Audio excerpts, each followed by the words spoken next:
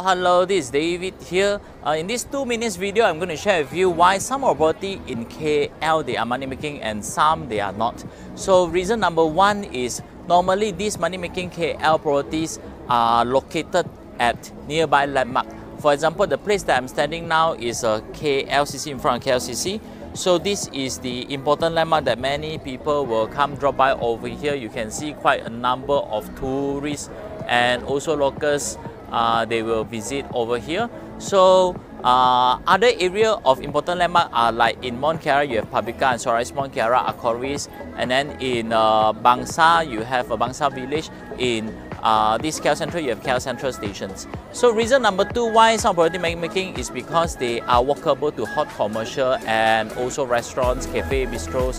So behind me are the restaurants that facing the parks in this KLCC iconic tower right below there is a KLCC mall also. So to settle your food uh, to have grocers daily and also some boutiques to uh, be able to shopping at and then it's easily available when you are nearby hot commercials. Reason number three is uh, why money making why is it money making? Because they are uh, actually come with a KL Tier 1 or Tier 2 address. Tier 1, we are talking about branded area like Mont KLCC, Bukit Bintang, KL Central, Bangsar. And Tier 2, we are talking about matured uh, neighborhood. So all these neighborhood are also nearby uh, corporate office tower, the CBD uh, of uh, KLCC, KL Central, and also Bangsar South. For example, surrounding KLCC, there are 162 corporate office towers uh, surrounding these 50 acres of parks. So, and then these are your potential corporate office tenant in the future.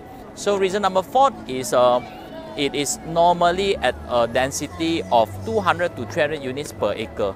So this is the range of ideally uh, density 200 to 300 units per acre so that you have lesser competition to rent and sell in the future. So then you have higher chance of renting out as soon as possible and also enjoy capital appreciation. So last but not least is walkable to LRT and MRT is a big, big bonus because ridership in the KL Kuala Lumpur train lines, we are talking about 180,000 to 200,000 per day. So these are your potential tenant also. Definitely, if it is a very nice uh, neighborhood for own stay, and then it will add on to your chances of renting out and also capital appreciation money making. For example, behind me is a 50 acres of this uh, KLCC park. So if living beside the park also is a big, big bonus also. So if you want to know more uh, which other property that potentially make money can PM us.